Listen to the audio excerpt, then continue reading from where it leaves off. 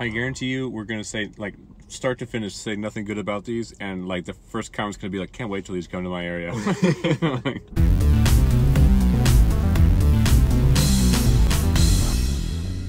what up? I'm Cam Dog.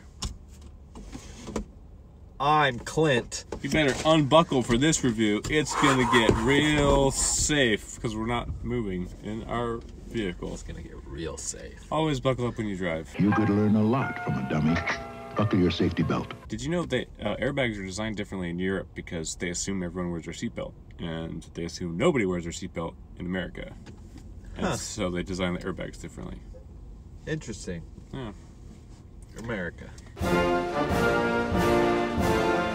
Today we have the bacon cheesy tots from Burger King.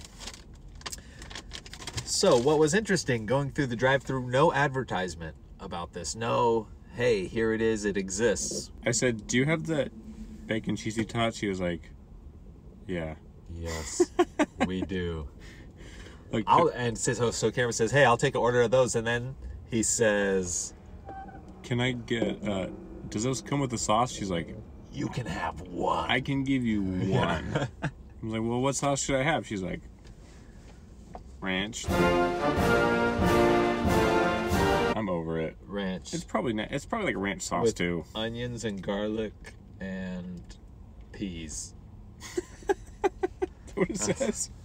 That's what it looks like. Oh. the picture. I bet they're supposed to not need sauce because there's cheese on the inside. My, theory. Having said that, uh, I do like the idea of this. They look nice and crispy. Wow.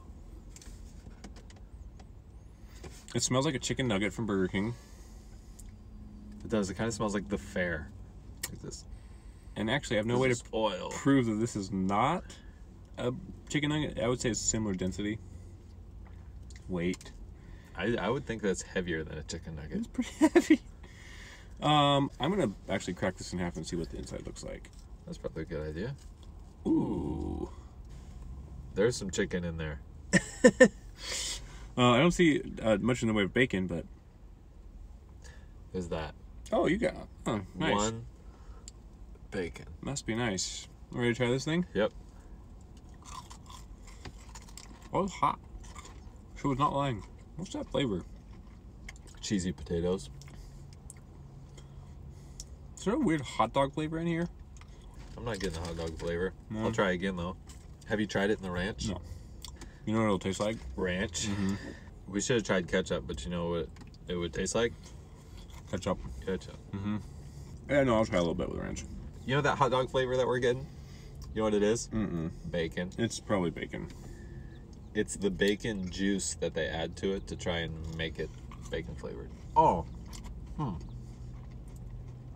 You know what it tastes like with the ranch though? It does taste like ranch.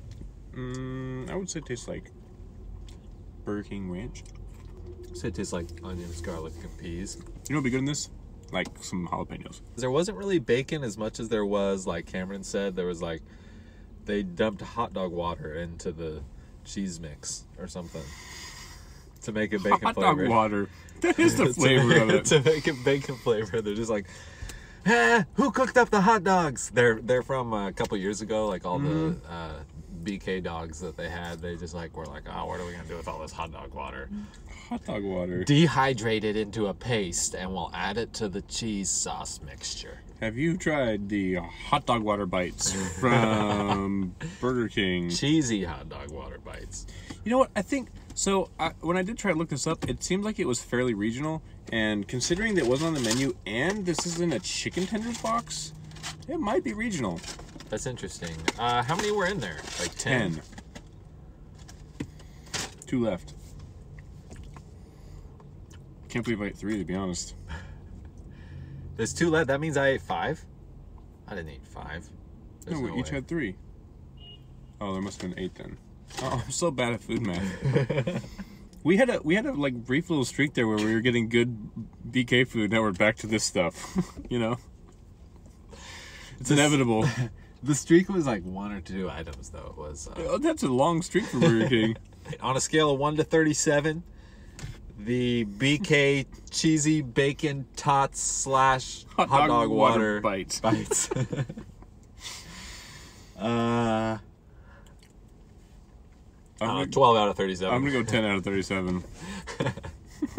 See you guys soon.